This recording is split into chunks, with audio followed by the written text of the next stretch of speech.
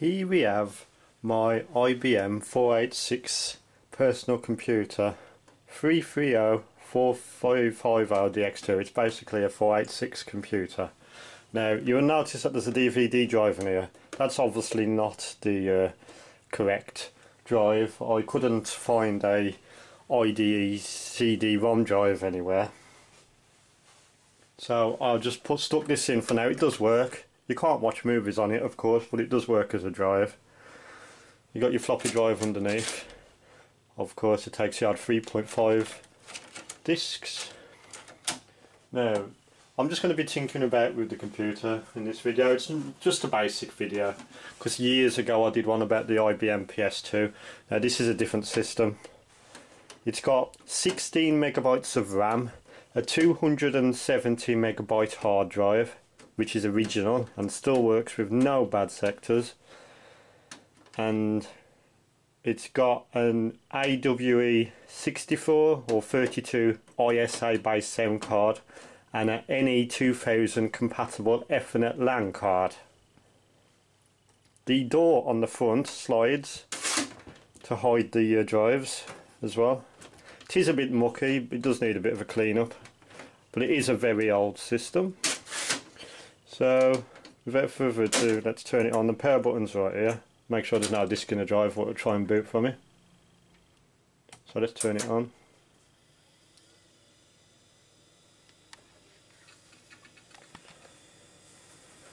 So there we go, there's the IBM splash screen on it.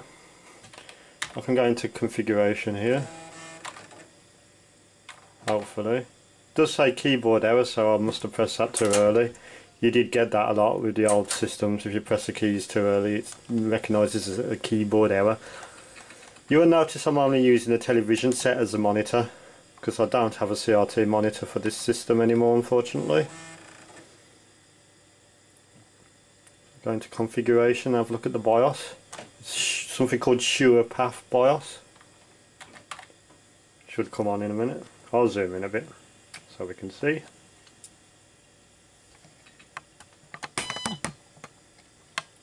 So yeah, so we can have a look at the uh, systems summary. So uh, you probably haven't saw a BIOS that looks like this for a while. Looks like it's an IBM BIOS. It's actually made by IBM as well. So system summary. Trying to get the camera angle. So I can see it's got a 4860X2, 50 megahertz processor. It's got an internal co-processor, system memory 640 base, 50, 60, around about 16 megabytes of extended. We got an onboard Cirrus Logic GD54 VGA card with a cache 128. Uh, we got 1.4 megabyte 1.44 megabyte 3.5 floppy drive 270 megabyte hard drive and yeah it even tells you that the mouse isn't plugged in So you've got some uh, serial numbers there. So you have the serial ports have been disabled and so has a parallel port for some reason. Yeah, so we've got Cirrus Logic, one megabyte of video RAM.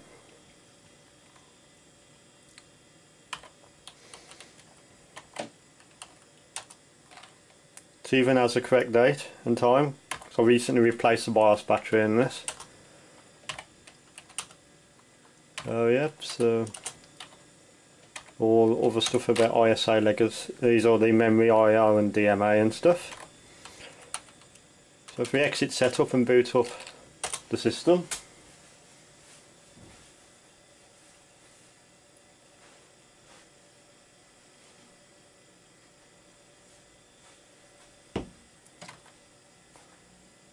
so BIOS screen does stay on for a while.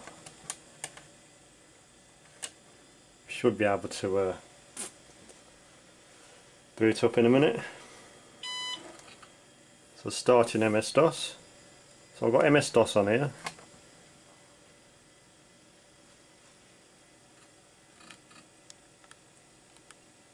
So there's your sound card driver. It's a SB32 plug and play ISA. This this computer has no PCI slots. They are all ISA. So as you can see we've got an Ethernet on IL340 IRQ. It's not a 10A, it's IRQ10 340. We'll just wait for it to uh, do its stuff. So if I go into the network folder, we can have a look. I've got a packet driver on here. So if I do DHCP, so okay, so I've got to set the uh, empty.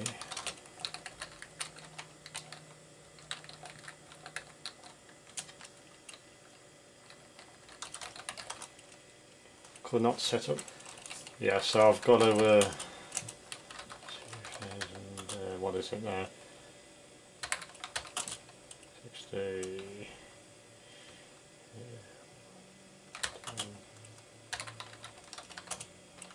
So that should do it.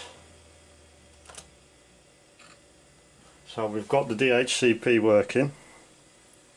So now I can, I've got a program called IRC Junior which is a DOS based chat client. So if I put in uh, irc.geekshed.net slash the shed.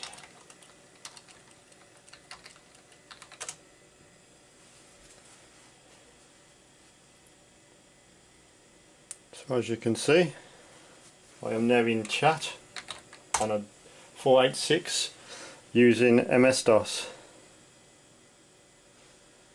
So this is the shed room on the internet on geekshed.net. I don't know if anyone's available in here. We can do uh, try another room. Join me, Amiga. There might not be anyone about, I don't know. But yeah, that's uh, IRC working in MS-DOS.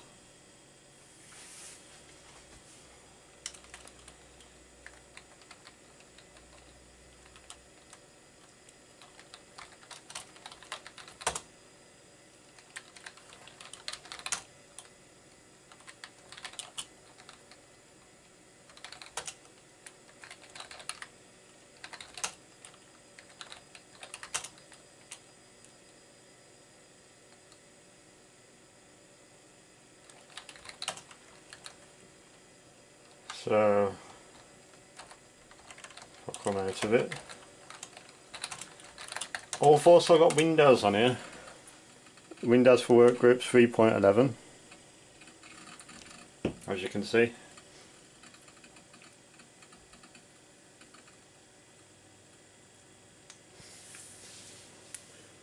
Just connecting to the network.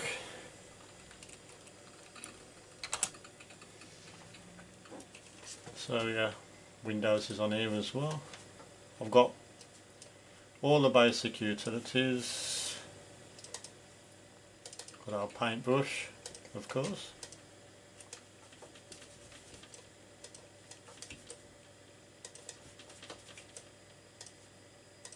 Now I don't want to save that. There's calculator, clock,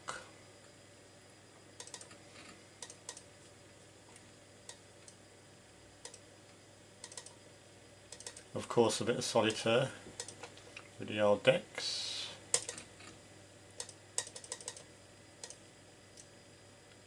Minesweeper. Uh, with our control panel. And most interestingly I've got MIRC on here the 16-bit old version. And uh, I don't want to register this old piece of software just close this down. Connect to IRC server.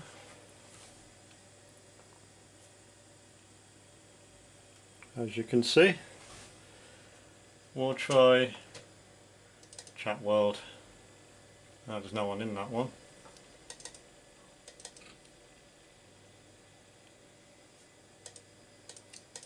Connect again.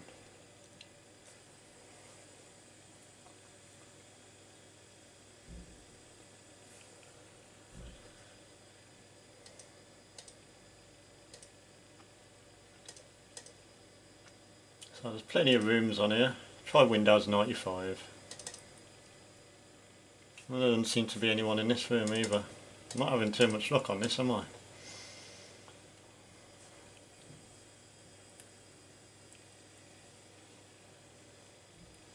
Try Amiga again.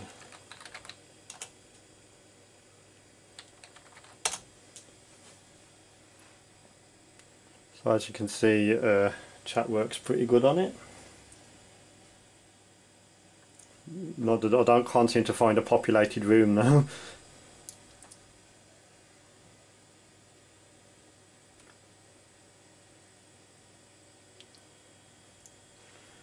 Let's try Windows 1.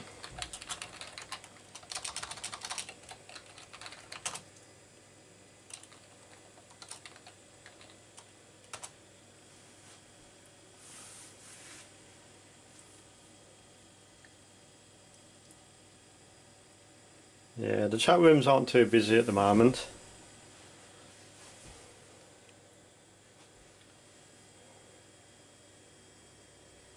Yeah, so as you can see this one this one's got some people in it.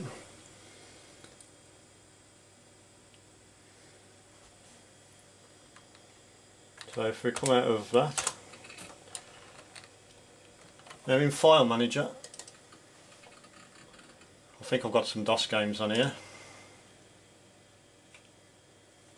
Speaker's on.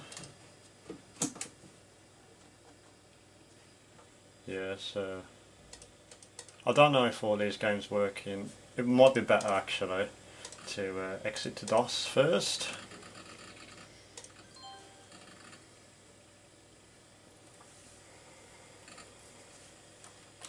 I've got Raptor Call of the Shadows on here.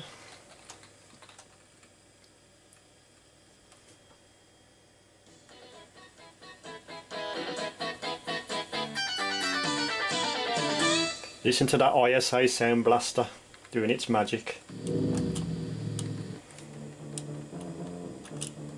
This is a great game this is. New mission. Hey, it's actually fit. For try rookie, so I'm not very good at games.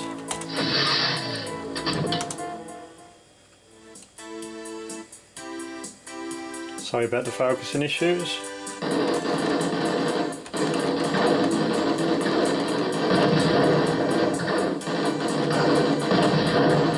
Brilliant game, absolutely brilliant.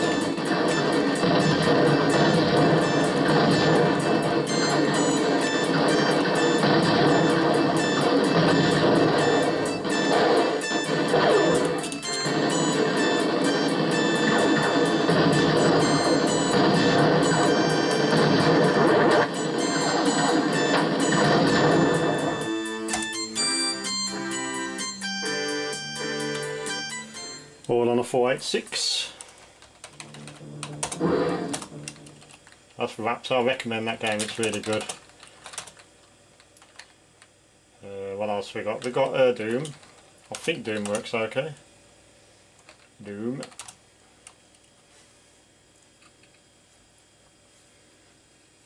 Good old Doom. This is the Ultimate Doom version 1.9.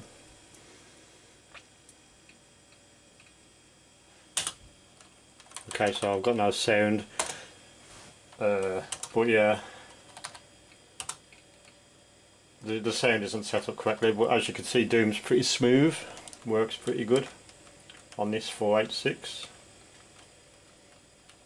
Frame rate's nice. Yes, that's Doom.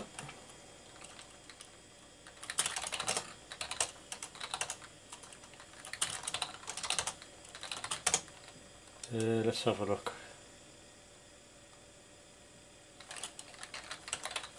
Else can we do on the 486?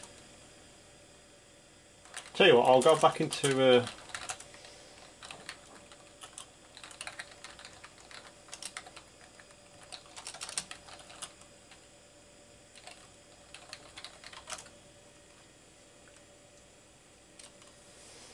Yeah, I think when you go into Windows, it uh, messes up with the network in DOS, so I'd have to do all of the HCP release and. I'm not going to bother doing that.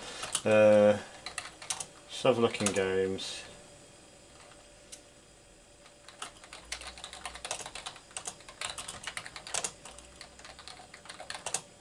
Set sound.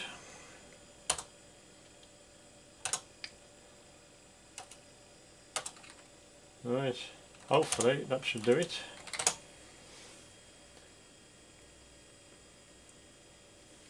With any luck.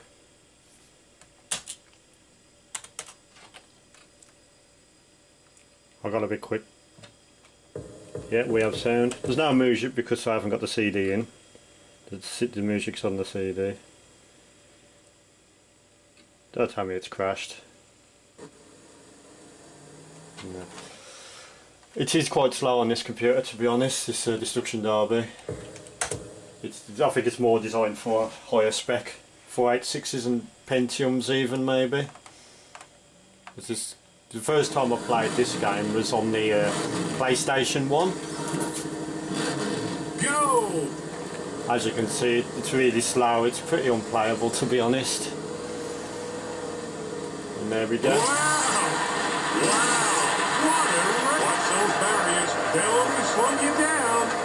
Pretty slow. I think I'll come out of this one. See if it will let me. Yeah, it's a bit too unplayable. Need a faster machine for that game to be fair.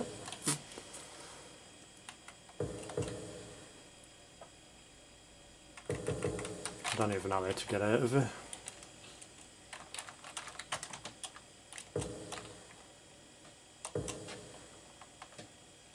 Oh, I don't want to do all this. How do I get out of it? Like that. Escape key. Simple as that. I've got a... Uh,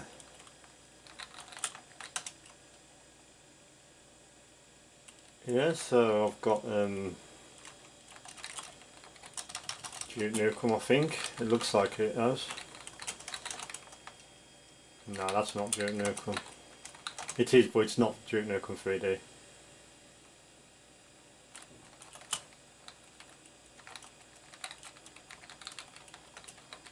Commander Keen games on here.